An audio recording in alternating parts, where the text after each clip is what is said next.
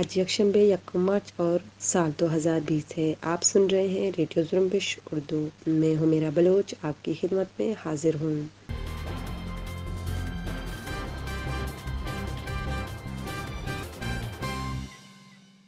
اوارن کے پہاڑی سلسلوں میں پاکستانی فوج کا فضائی اور زمینی آپریشن جاری ہے۔ قطر کے دارالحکومت دوحہ میں امریکہ اور طالبان نے افغان امن معاہدے پر دستخط کر دیے ہیں۔ بلوچستان میں اپوزیشن اراکین اسمبلی نے حکومت سے مستفید ہونے کا مطالبہ کیا ہے۔ ریڈیو زرمبش کے آج کی نیوز بلیٹن میں ان خبروں کے علاوہ بلوچستان سے مزید خبروں کے ساتھ ساتھ علاقائی اور عالمی خبریں بھی شامل ہیں۔ آج کی خبریں دوستن مراد بلوچ پیش کریں گے۔ آئیے خبریں سنتے ہیں۔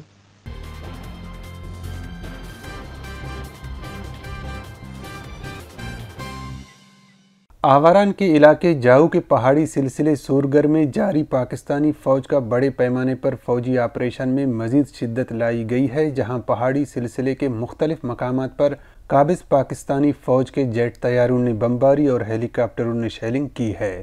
واضح رہی چند روز قبل جاؤ کے مختلف اطراف گریشا، نال اور اورناچ سے پاکستانی فوج بڑی تعداد میں جاؤ میں داخل ہوئے تھے، جہاں فوج نے لوگوں کی گاڑیاں، اونٹ اور گدے بیگار کر کے انہیں بار برداری کے لیے استعمال میں لا رہا ہے، جبکہ مقامی ڈیتھ اسکواڈ کے لوگ بھی بڑی تعداد میں پاکستانی فوج کے ہمراہ ہیں۔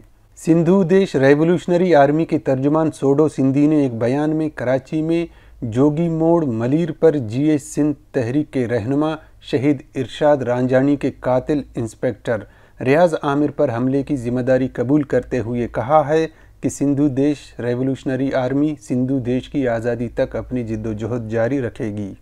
دوحہ میں امریکہ اور افغان طالبان کے درمیان تاریخی امن معاہدے پر دستخط کر دیے گئے ہیں۔ امریکہ کی جانب سے ظلم خلیل زاد، جبکہ طالبان کی جانب سے ملا عبدالغنی برادر نے دستخط کیے۔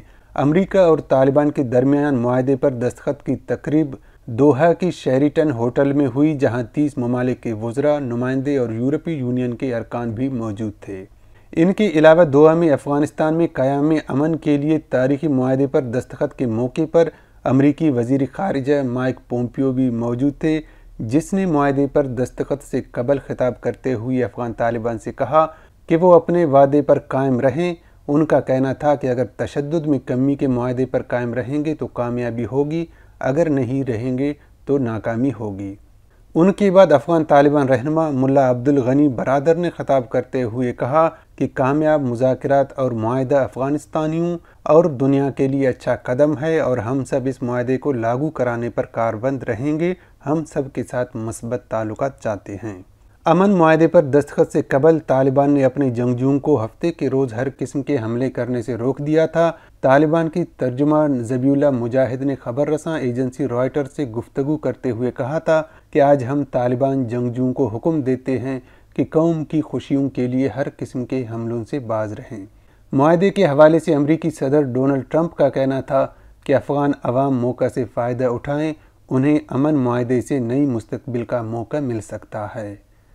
بلوچستان اسمبلی میں متحدہ اپوزیشن کے اراکین نے کٹ پتلی صوبائی حکومت کو تنقید کا نشانہ بناتے ہوئے کہا ہے کہ موجودہ حکومت مکمل طور پر ناکام ہو چکی ہے، جو اخلاقی طور پر مستعفی ہو جائے اور حکومت اپوزیشن جماعتوں کے حوالے کیا جائے۔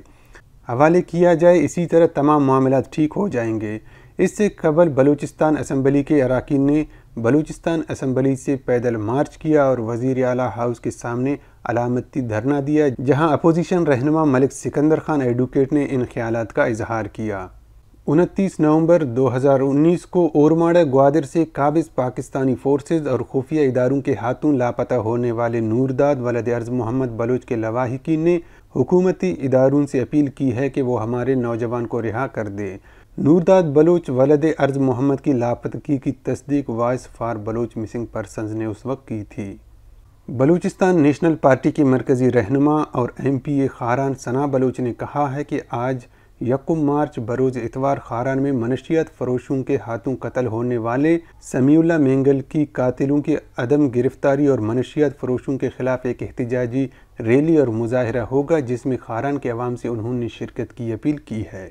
بلوچستان کے ساحلی شہر گوادر میں کسی بھی قسم کی ترقیاتی سرگرمیوں اور تعمیرات کے لیے این او سی جاری کرنے پر چار سال سے عائد پابندی فوری طور پر اٹھا لی گئی ہے۔ گوادر ڈیولپمنٹ اتھارٹی کے ڈائریکٹر جنرل نے یہ پابندی ختم کی ہے جو پاکستان مسلم لیگ نون کے دور حکومت میں لگائی گئی تھی۔ کوئٹہ میں سریاب روڈ کلی سردہ میں دو گروہوں میں تصادم کے نتیجے میں شہوانی قبیلے سے تعلق رکھنے والے دو افراد ہلاک ہوئے ہیں۔ چمن میں ایک بیس سالہ افغان لڑکے نے فوجی مارکیٹ کوچ کمپنی کے ساتھ اپنا گلا کاٹا ہے، جسے اسپتال منتقل کیا گیا ہے۔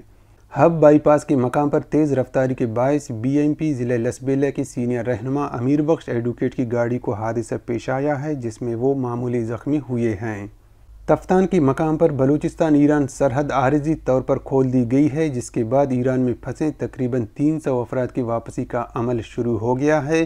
اسسٹنٹ کمشنر تفتان نجیب اللہ کمبرانی نے بتایا ہے کہ مذکورہ فیصلے کے تحت ایران میں پھنسے دو سو پچاس سے تین سو پاکستانی واپس آ سکیں گے۔ اسسٹنٹ کمشنر کے مطابق ایران میں پھنسے پاکستانیوں کے ویزا کی مدت ختم ہونے والی تھی۔ عوامی نیشنل پارٹی بلوچستان کے مرکزی رہنما اور صوبائی وزیر زراعت انجینئر زمرک خان اچکزئی نے کہا ہے کہ دس مارچ کو پشاور میں پختون قومی جرگہ سنگ میل ثابت ہوگا۔ ان کا کہنا تھا کہ عوامی نیشنل پارٹی نے ہمیشہ پشتونوں کے حقوق کی ترجمانی کی ہے اور پشتونوں کے مسائل حل کرنے کے لیے ہر فورم پر اپنا کردار ادا کیا ہے۔ بندوبستی پاکستان سندھ میں روہڑی کے قریب کندرا پاٹک پر پاکستان ایکسپریس کی زد میں مسافر بس آ گئی ہے، جس کے نتیجے میں تیس افراد ہلاک ہوئے ہیں۔ پولیس کے مطابق روہڑی کے قریب کندرا پاٹک پر مسافر بس کراچی سے راول پنڈی جانے والی پاکستان ایکسپریس کی زد میں آ گئی اور حادثہ پھاٹک نہ ہونے کے باعث پیش آیا ہے۔ بندوبستی پاکستان خیبر پختونخوا میں ٹانک کے علاقہ گرداوی کے مقام پر پاکستانی فورسز کا ایک ٹرک جو ٹانک سے وانا جا رہی تھی، ایک گہری کھائی میں جا گری ہے، جس کے نتیجے میں پاکستانی فورسز کے دو اہلکار شدید زخمی ہو گئے ہیں۔ خیبر پختونخوا میں جنوبی وزیرستان وانا کے متاثرین نے اپنے مطالبات کے لیے یو وزیر کے نام سے ایف سی کیمپ وانا کے سامنے دھرنا دینا شروع کر دیا ہے۔ دھرنے کی کامیابی کے لیے مشران، سیاسی جماعتوں اور دیگر مکتبہ فکر سے تعلق رکھنے والے لوگوں کی آمد کا سلسلہ جاری ہے۔ متاثرین احمد زئی وزیر قبائل نے وانا بازار میں پندرہ نکات پر مشتمل مطالبات بارے ایک پمفلٹ بھی جاری کر دیا ہے، جس میں مختلف آپریشنوں میں ہونے والے مالی و جانی نقصانات کا ازالہ، امن کی بحالی، ضلع ٹانگ سے جنوبی وزیرستان کی تمام ضلعی دفاتر کی منتقلی، افغان مہاجرین اور عثمان زئی وزیر متاثرین کو چیک پوسٹوں پر سہولت دینے کا مطالبہ کیا گیا ہے۔ دوسری طرف ضلع خیبر میں پاکستان افغان شہرہ پر چار واضح کے مقام پر ادنان شنواری کے مبینہ پولیس مقابلے میں ہلاکت کے خلاف لواحقین کا دھرنا ساتویں روز بھی جاری رہا، جہاں جمعے کے روز دھرنے میں رکن قومی اسمبلی اور پشتون تحفظ موومنٹ کے رہنما علی وزیر نے شرکت کی اور خطاب کرتے ہوئے کہا کہ ریاست شہریوں کے جان و مال کے تحفظ کو یقینی بنائے، پشتون قلم اپنانا چاہتے ہیں اور ایک علم دوست قوم ہے۔ ان پر دہشت گردی کا لیبل لگانا ظلم اور ناانصافی ہے۔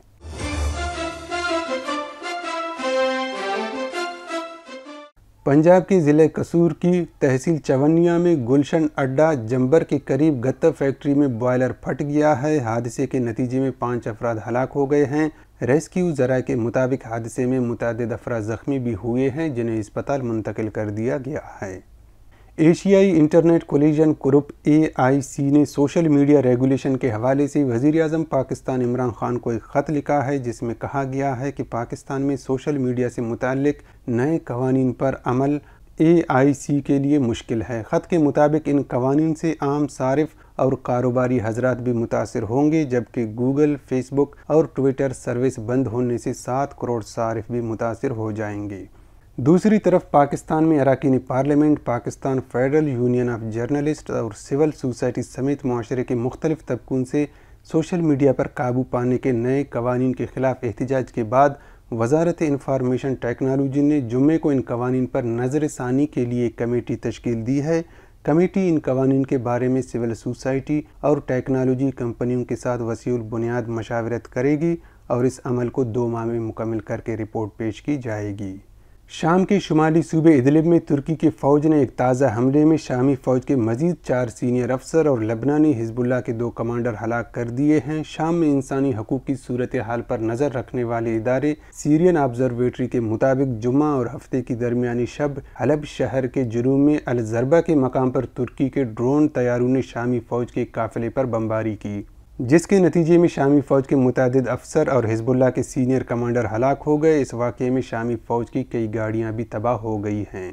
جبکہ ترکی نے دعویٰ کیا ہے کہ شام کے محاذ پر لڑائی کے دوران روسی اور شامی فوج کے حملوں میں ترکی کے تینتیس، ترکی کے تینتیس فوجیوں کی ہلاکت کے بعد جوابی کارروائی کرتے ہوئے شامی فوج کے اکتیس اہلکار ترکی نے دعویٰ کیا ہے کہ شام کے محاذ پر لڑائی کے دوران روسی اور شامی فوج کے حملوں میں ترکی کے تینتیس فوجیوں کی ہلاکت کے بعد جوابی کارروائی کرتے ہوئے شامی فوج کے اکتیس اہلکاروں کو ہلاک کر دیا گیا ہے۔ جبکہ ترک ایوان صدر نے جمعے کے روز ایک بیان میں بتایا ہے کہ صدر رجب تجب اردوان نے اپنے امریکی ہم منصب صدر ڈونلڈ ٹرمپ کے ساتھ ٹیلی فون پر گفتگو کے دوران شام کے صوبہ ادلب میں انسانی علمیے کا سامنا کرنے کے لیے اضافی اقدامات اٹھانے کی ضرورت پر زور دیا ہے۔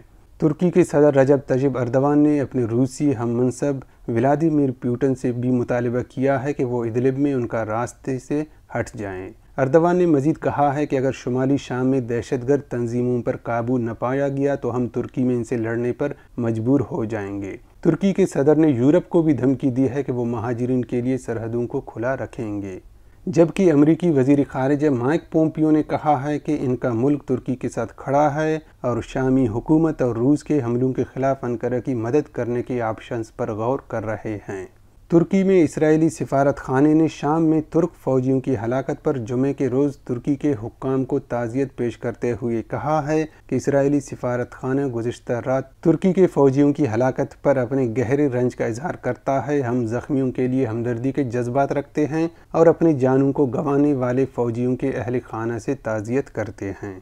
چین میں نیشنل ہیلتھ کمیشن نے ہفتے کے روز ایک اعلان میں بتایا ہے کہ چین میں کرونا وائرس سے مزید سینتالیس افراد ہلاک ہو گئے ہیں، جس کے بعد کرونا وائرس کے سبب اموات کی مجموعی تعداد دو ہزار آٹھ سو پینتیس ہو گئی ہے۔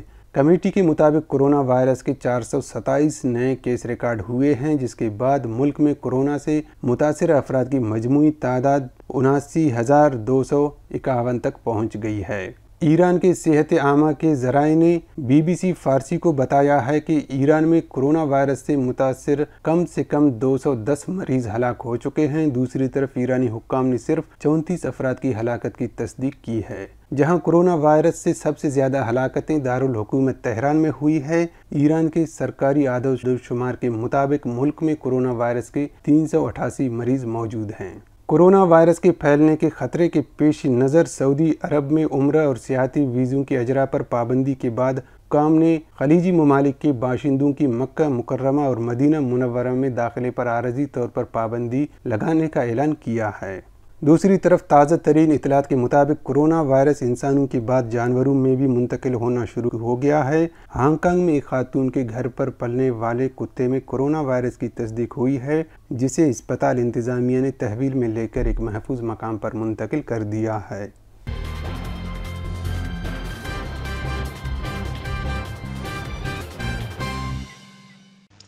آج کی نیوز بلٹن کا یہی پر اختتام ہوتا ہے۔ آپ سن رہے تھے ریڈیو زرمبش سے خبریں، اسی کے ساتھ اجازت چاہتی ہوں۔